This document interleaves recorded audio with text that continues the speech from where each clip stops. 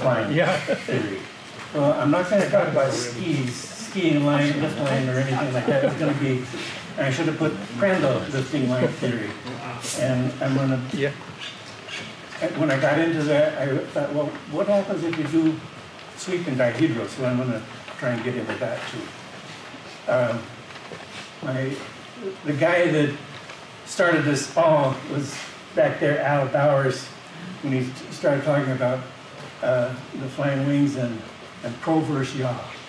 Well, how do you get proverse yaw? If you, if you roll, you want the yaw to be in the same direction, not roll and then like that. So that's adverse yaw. So Al was uh, inspiration for me to keep going on this stuff. And uh, as I got into it, I got uh, a book by Mark Drela, a very nice book, and he has a whole uh, appendix on lifting line theory. And so that was kind of my starting point to, to, to get going into this stuff. Um, let me see. Arrow, Something I didn't do, do anything. up arrow or right arrow? I did really. There you Okay. go. Okay, this is, uh, as I got into the, trying to go from a straight wing to something that's uh, swept, uh, and I went through the whole thing, there's a big problem when the vortex is a kink. And I think Al talked about that a little bit. And so I tried to smooth it out, making it into a hyperbola. And uh, so if you had a straight kink, it would go here and there, uh, Let me see I got this. Yeah. So, uh, this, this is the asymptotes for the hyperbola. So it comes down and then this is a, a, a new parameter that I have for my hyperbolic uh, wing. Um, It's this A parameter. So when I, when I look at the, when I take that um, uh, radial location of a point on the vortex, the vortex sheet, in fact, and, and the bound vortex, then uh, I get that, and and I did it in, in terms of a span-wise coordinate instead of uh, along the along the lifting line coordinate. And uh, I, I put too much stuff on here. Uh, so let's see what happens. so this is my bound vortex here with a little wing on it and um, and the trailing vortex that goes back and the, the trailing vortex is related to the bound vortex. But how's that? If you take this uh, line and you integrate along here and then you integrate like that and then you come back and then you go on the bottom and you come back around that integration is zero.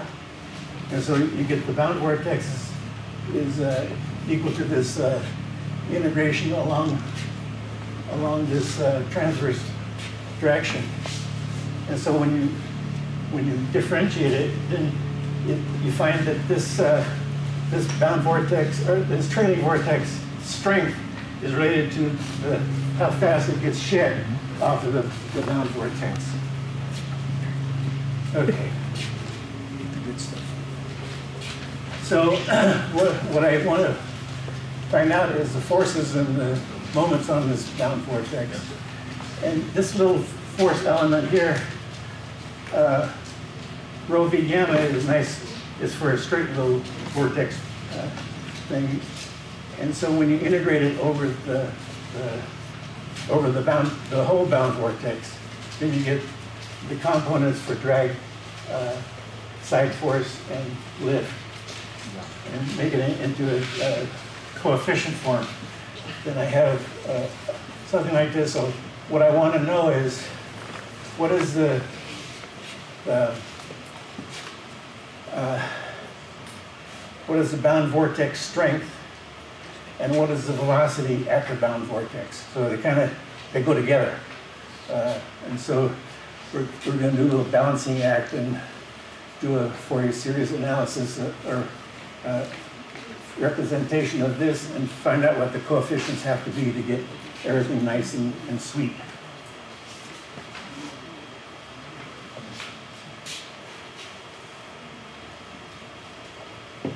This is the same thing for the, the moments. Here's a little vortex, a little force element, and you uh, take a moment about that, and you get your roll moment, your pitching moment, and your yaw moment. So in order to, in order to uh, find out uh, pro versus well, you got to do yaw. so, so we're going to need to calculate this thing and uh, and this thing, the, the roll moment and the yaw moment coefficients. Okay, so here's kind of the the the it gives you the, the velocity at a point knowing the bound vortex and the uh, vortex weight sheeting, uh, shedding vortex weight. And here's the free stream velocity. And uh, I had a hard time deriving this, but you can derive it if you take some mathematics and you say curl curl u and multiply by a Green's function and integrate over all space, it pops out. So it's, it's not easy, but uh, uh, anyway, it, it's, it was fun to do. So here's the, the strength of the trailing vortex. Here's the strength of the bound vortex. And uh, this part gives you, since you have a kind of a distorted uh, plan form, and, and uh, it's not Cartesian coordinates anymore. You need to have a, a Jacobian in there to figure that out. And so that was the velocity at any point. What I really want is the velocity at on the on the bound vortex because that goes into all the formulas. Velocity at the bound vor- vortex. And so taking this and uh, this this little downstream coordinate, you can do that integral. It's, it's not that hard. It's you look it up in the in the book and and what you get is this and. Uh, when you have uh, a bound vortex and a trailing vortex that are perpendicular, this whole term drops out, and you come back to uh, uh, classical uh, Prandtl uh, things. But I want to be able to do it. I can't do it analytically. It's just too hard. Uh, but I can do it numerically. And there are problems when this equals that it blows up. And so what I did was the, the, the principal value of this integral is blowing up. But if you integrate up to where the, the singularity is, and then you start on the other side of the singularity and, and go to, you can do it numerically, and uh, I'll show you the results on that. Um, okay, so now we're going to get into how what do we do about this uh, bound vortex? Uh, we, we want to expand it as a power series or Fourier series in sine because sine of zero and sine of pi are equal to zero, so that's the form that you want. There are no cosines in there. Um, but th this angle is, is here. You, you, you, take, you take the cosine of, the, of this angle and uh, you can transform the, the, the derivatives or, or the in- integrals into integrals on theta instead of integrals on y. And so the, the derivative, you want the derivative with respect to y, but you have to put an extra sign in Okay, so if you do that for a classical lifting line theory, and you say, okay, no sweep, no dihedral, just straight wing. Oh, I forgot to say that on the uh, on the on the uh, slide for the velocity at any point. If you have a straight line uh, vortex instead of turn, then this one doesn't affect that one. It, it's just the, the the cross product is zero when you do that um, the math. But when you have a when you have a, a dihedral or sweep, then this wing or affects that one and vice versa. So it, it makes it a little harder because you get extra, whole, whole extra term. Anyway, when you, when you go through, uh, I, I said, what's, what is the velocity on the point, on- on the, on the, uh, bound vortex? This is what you get. Uh, This, this and this, they're- the same thing, except one is for, uh, inside the, the wingtips, and one is for the outside the wingtips. So this one is outside, and sure enough, this integral is in the, in the textbook, or in, in the Gradshteyn and Ryzhik, uh, uh, Book of Integrals. And, and it's this, it's not exactly that, but when you rearrange it, you get this. And, uh, I'll show you a graph of what that looks like too. And when you're, when you're on, from, from wingtip to wingtip and you do this, uh, this integral, you get a problem because there's a singularity here. And you have to go into a little higher math, but it comes out simple, uh, this, this sine wave, uh, distribution. Okay. So this is, this is what you get for the analytical result. And this is what you get for the numerical result. So I felt good about that when that, that popped out. And this, this line right here, that's the Prandtl constant velocity, the downwash velocity. And then, but, but it doesn't talk about this part, the, the upwash velocity outside that. So we have all these modes of, uh, of, uh, of vertical velocity, but I don't like singularities like this. So I tried to sum, sum these uh, uh, solutions so that they all add up and you get a nice smooth, uh, smooth velocity distribution. Um, The, I want the, the velocity and the slope of the of the velocity to be continuous over this uh, singularity region. Oh, okay, this, this is the same uh, calculation, but now I put sweep and dihedral in it. And the, the modes change all over the place. But, okay, I can do the modes, now how do I add them up? That, I kind of is a work in progress, so. And the same for the, for the asymmetric modes. Okay, the, the, the bound vortex with my little hyperbola smoothing uh, gives me this kind of uh, distribution for the, the four different modes. And uh, I'm, I'm still working on that too. Uh, But I haven't seen this before, so. uh, Okay, here's, here's kind of my contribution to this thing. Uh, You have a- an outer, outer velocity at the, on the uh, bound vortex, and you have an inner velocity. And, okay, I want these two to be the same, to be continuous. Is- Instead of this thing blowing up, if this thing blows up, that's, that's bad, because here's the right solution, m, m squared a.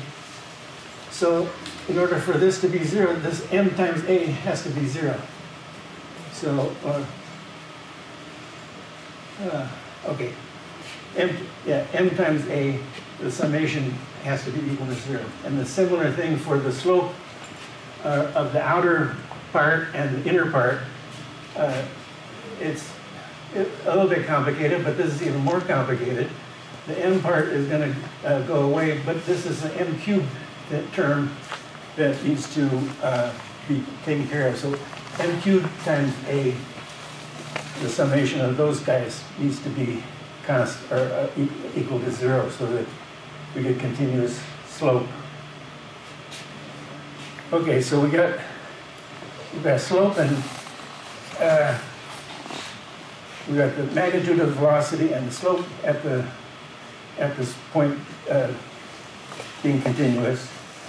Uh, Here, my good friend Ludwig Prandtl talked about a wing weight parameter, so that if you, uh, if the local wing weight is proportional to the local bending moment, then, okay, we integrate it, and that's gonna be proportional to the, the wing weight, the total wing weight. But you can do that integral, and you get the coefficients of my uh, bound vortex, A plus, A1 plus A3, uh, pops right out, and so that's gonna be my wing weight parameter.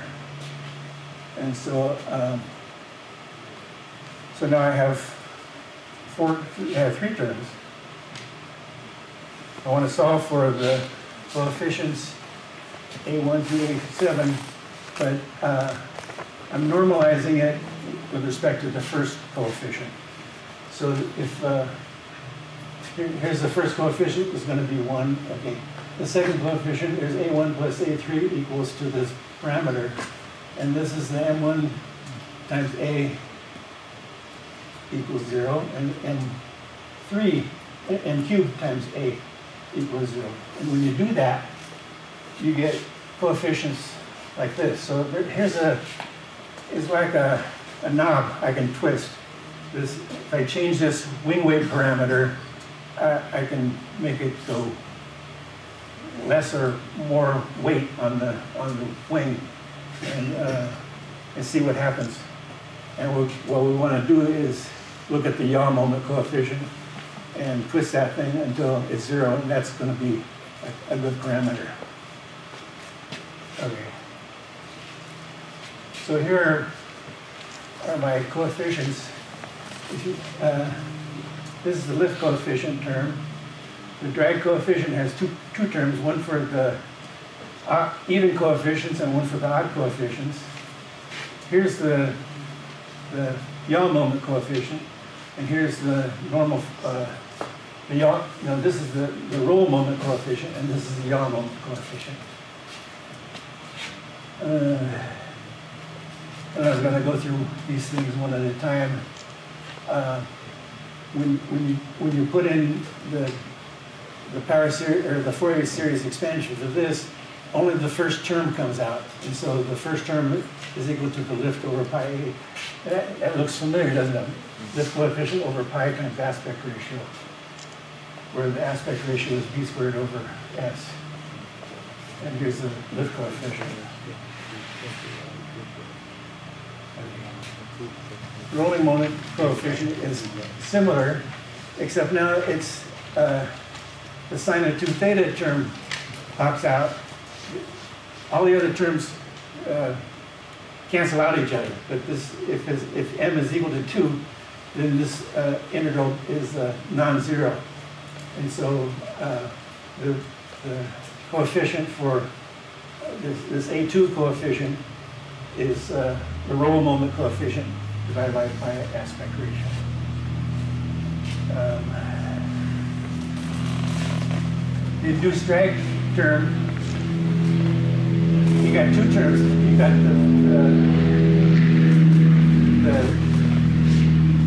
velocity, the vertical velocity and the, uh, uh, roll, or the circulation function. And you, and there's two terms. There's, if this is odd and that's odd, then you get con- contribution. If this is even and that's even, you get another contribution. So here's the, the odd terms and here's the even terms. So the, it's the, this, uh, lift coefficient squared over pi aspect ratio. All this stuff is going to be like your span efficiency factor. Uh, The first term is one, but then there's a one plus delta, and if you see it that way, or one over epsilon, or one over e. Uh, And I haven't really seen this term before, but I hope it's there. Okay, this is a similar thing for the yawn moment coefficient. Changing nomenclature, I, I was doing it in terms of y, now this is, this is the old version that went along the, uh, the bound vortex, to integrate along the vortex. But uh, you, when you do that and you get a whole bunch of terms, and the first two terms are there's a three, and there's a five. And so if my, uh, my third coefficient, A3 divided by A1 is going to be less than 3 fifths, then my, my coefficient has to be less than 2 fifths. And so uh, compared to 1, 1 would be for elliptical load distribution. So it's, uh, you get a much uh, lighter wing by, by doing this. Okay. And here's my BSLD. I always wondered what BS stood for. but it's, it's uh, uh,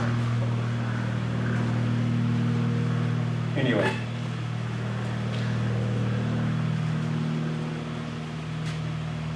It goes down and levels out at the wingtips and a maximum here, and it's kind of pretty pointy for this uh, uh, lambda equals 2 fifths. If you want, that's, that's for the yaw coefficient equal to zero. If you want, so that uh, you, you yaw in the same direction as you, uh, as you roll, then it has to be pointier. I think it has to be pointier. Okay. Okay, so here at, at the wingtips here and here, ah, here and here, I have the velocity and the slope continuous. And so the maximum of the, it's upwash here, is inside the, the wingtip and goes down and back up. So the outside, outside the wingtip, there's upwash, a little bit of upwash, but it's peak right here. That's where the pelicans want to fly. so.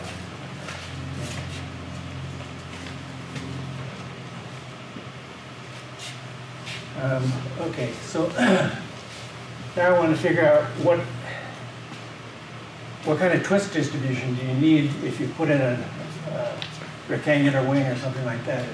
Because the, the that bound uh, that uh, vortex strength is really a lift is is really CCL. Here's here's that non non-dimensionalized lift co or uh, power loading coefficient. Okay.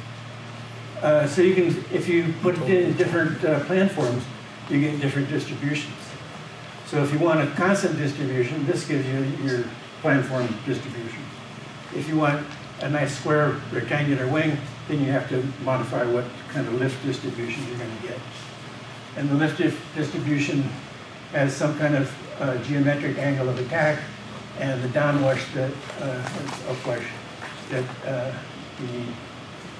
So when you solve for this uh, uh, angle of attack for the geometry of the twist, um, then you get something like this. And when you,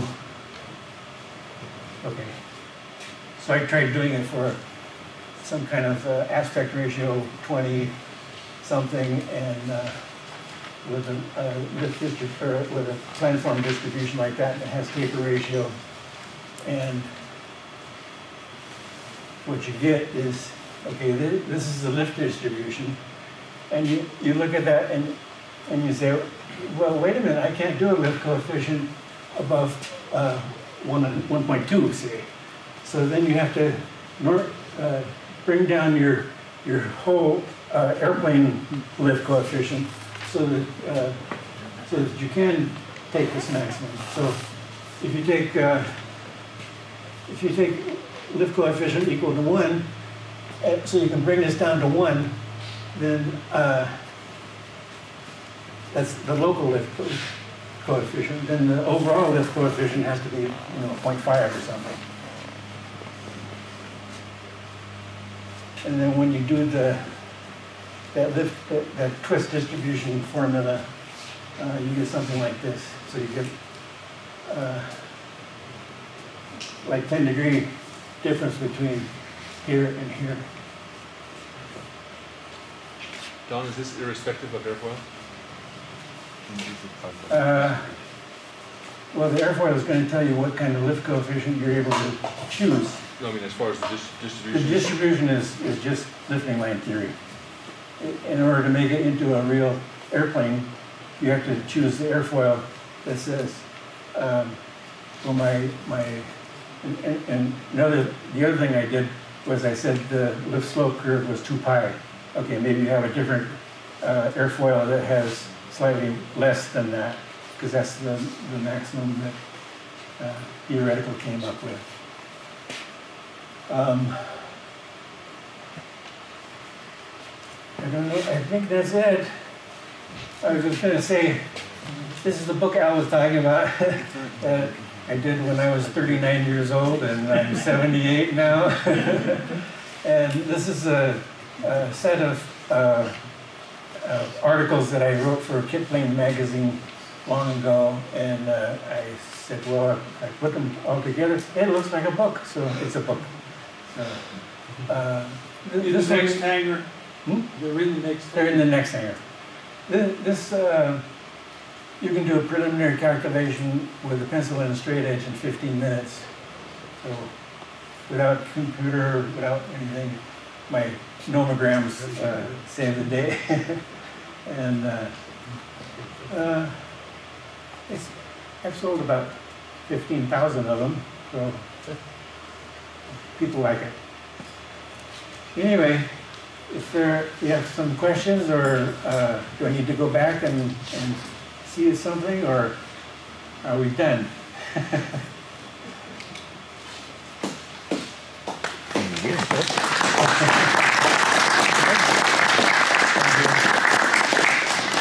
you get all of them? You you notice birds don't have any sweep on the inboard section. Like They're straight plate. through the middle. You The do the outboard and section comes is into it swept. because it gives you a zero lift The angle. inboard section But you is have to take straight. into account, so ge- I geometric figured twist this out a long is time different ago, from they didn't tell aerodynamic. This is all an aerodynamic twist. I still have some work to do on the, the sweep and yaw part, but I, I made some progress so that it, uh, uh, I can get the solution, the, the modal solution, now to put them together, because, okay, when you, when you have swipe, now you have, instead of just being a, a universe, or a, a free stream velocity on the, on the uh, bound vortex, you have an induced velocity on there too, so it's not clear how those lift coef, or those coefficients uh, hand themselves out.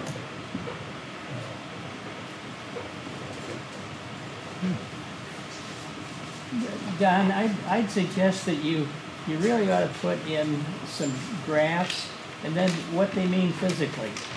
So the guys that are lower down can get them better. So that's what I found I had to do in my book, Mhm. was, you know, tell them what, what they needed to know, to pick out. Well, I just did this for Al.